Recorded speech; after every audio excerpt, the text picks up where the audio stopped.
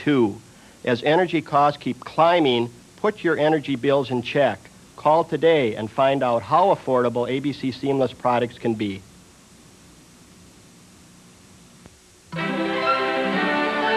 This is CNN.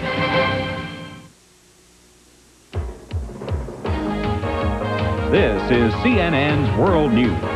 What you need to know, what you want to know. With Bernard Shaw in Washington and Susan Rook in Atlanta.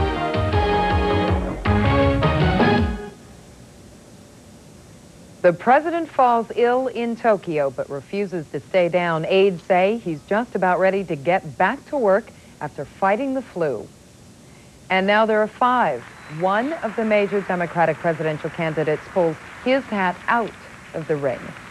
Thank you for joining us. It is now noon in Tokyo. President Bush has bowed out of several appearances on his morning schedule, but aides say he will meet with Japanese Prime Minister Kiichi Miyazawa in about an hour and a half.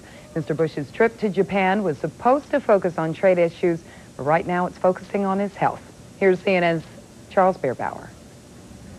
The president's schedule in Tokyo was curtailed because, as spokesman Marlin Fitzwater put it, the president is human, he gets sick. The major symptoms have subsided. All of the president's vital signs this morning are normal as they were last night. There is no indication of any illness other than the common flu. No medication has been prescribed for today. The president's doctors say the flu is not related to the heart and thyroid problems he suffered last year. Prior to his collapse at dinner Wednesday, the president had complained of nothing more than a bit of jet lag on this extensive trip. The president sent Treasury Secretary Brady and Commerce Secretary Mosbacher to stand in for him at public events, and hard-nosed trade talks with the Japanese continued without a halt and without a breakthrough. On both sides have very strong uh, positions and a lot at stake, and uh, we're working those very hard. President Bush said he hoped his illness would not detract from the focus of the visit, but it has, with the pictures of a collapsed president flashed around the world. This is, after all, an election year. Does the fact that he was so publicly, visibly ill last night make a political problem for your next job, given the public opinion polls about Dan Quayle as his possible successor? No. First of all, uh, you know, we've all had the flu bug and he bounced right back. He's doing well. He's in good shape. The president, who left the dinner on his feet, sought to make light of it. He is in good spirits. He's concerned about the inconvenience caused to dinner guests last night. He joked he might have a large dry cleaning bill to deal with. President Bush plans to fly home to Washington on schedule Friday. Next week, he'll be out on the campaign trail with two things to explain whether his health is up to the job and whether his trip to Japan has produced any jobs. Charles Bierbauer, CNN, Tokyo. And coming up later, we will have more on the president's condition, including a report on how his collapse has focused new attention on Vice President Dan Quayle. A surprise announcement from Virginia Governor Douglas Wilder tonight. He is pulling out of the 92 presidential race. CNN's Deborah Potter has our report.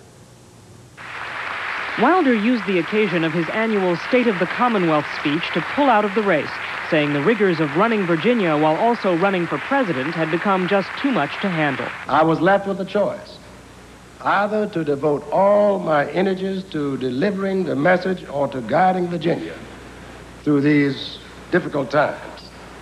I have chosen the latter in fact, Wilder's message was not going over all that well on the campaign trail. Recent polls in New Hampshire showed him dead last. The nation's first elected black governor, Wilder had hoped to turn things around in the southern primaries, counting heavily on the black vote. But he never caught on with what should have been his base. I think uh, what he found is that it was a bit uh, too conservative uh, for the politics of the black community. And so he was having real trouble uh, bringing all of the forces together that would have given him an immediate base for this campaign. Wilder's departure opens the way for the five remaining Democratic candidates to aggressively court black voters. He was in a unique position to really argue issues like equal opportunity and access and those kinds of things. In that respect, I think that the debate will be lessened. The biggest gainer now that Wilder's gone is most likely Arkansas Governor Bill Clinton. He issued a statement saying Wilder's decision is, quote, overwhelming evidence of the crying need in this country for a national partnership between the president and the states to turn our economy around and give real opportunity to the people. And I think the other guy who feels really good about it is Bill Clinton, who I think gets a real opportunity to build a genuine biracial coalition for the nomination because he has more natural support, both amongst blacks and whites, in the South for Super Tuesday. He becomes a much stronger candidate as of tonight. As for Wilder, observers say he may still have a future in national politics, either as a vice presidential candidate or possibly in the U.S. Senate. Deborah Potter, CNN, Washington. And joining us now to talk about Governor Wilder's withdrawal from the presidential race, a man who considered entering the field himself, Jesse Jackson. On Saturday, Reverend Jackson began hosting his own interview program on CNN. Your first blush reaction to what happened tonight? Well, I was surprised that he, that he made this decision, but his rationale is sound. It's the same one that Governor Cuomo had to make, that the burdens of his state was of such he had to make a choice. 41 states are in deficit spending, are in a fiscal crisis. His departure leaves a hole in the campaign because his presence was a kind of a symbol of conscience, and there were certain issues that had to be dealt with by virtue of his presence. I noticed in the debate last uh, Sunday, on the domestic agenda, no one mentioned urban at all and on the foreign policy did not mention Haiti or, or South Africa. And so there's a real danger that his absence will create a kind of uh, shift away from cities and towns, and of course it becomes our burden to make certain that that does not happen. In your gut, do you wish you had not dropped out of the race? Do you wish you had not decided to run, I should ask? I'm satisfied with the decision that was made. Uh, my commitment to D.C. statehood is very substantial. I think in the long run, expanding our democracy to include D.C., uh, more people live here than, than five states. We pay more taxes than 10. More youth in the Persian Gulf than 20 states. We have the right to be in the U.S. Senate and in the House. Uh, I accept that decision. Beyond that, the Rainbow Coalition has accepted the burden of helping to establish an agenda of the Rebuild America, a humane priorities agenda. And actually, the governor's dropping out today. It accentuates the meeting that we're planning on January 25th. All of the announced candidates are coming to a Rainbow Coalition forum.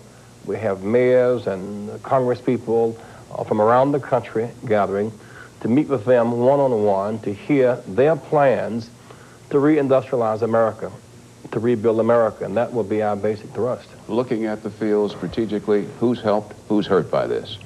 Well, at this point, in a strategic sense, probably Governor Clinton is helped because he has the most substantial campaign at, at this point. Uh, but uh, lurking uh, in the wings would, would be Harkin and, um, and, Kerrey as well.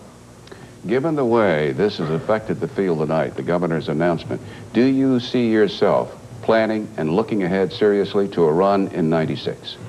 Well, that, that is a bit far off. Uh, I still intend to run for the presidency again uh, at some point in time. But right now, I'm more interested in trying to shift the environment in the country than running for the presidency.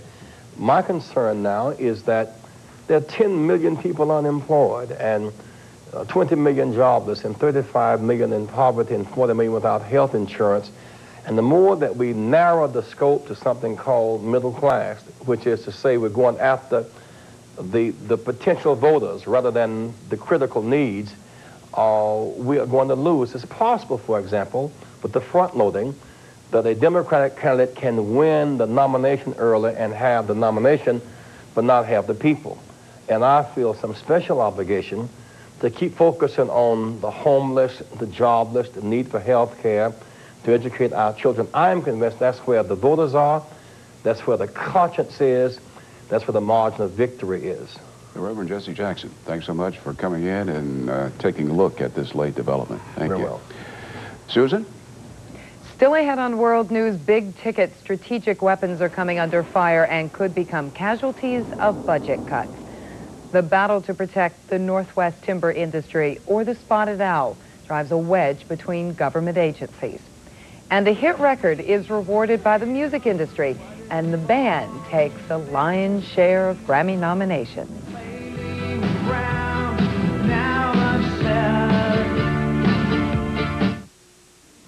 You wanna positive, eliminate the negative. Tune in to the affirmative, the family channel, yes indeed. Nobody captures life on the positive side like the Family Channel.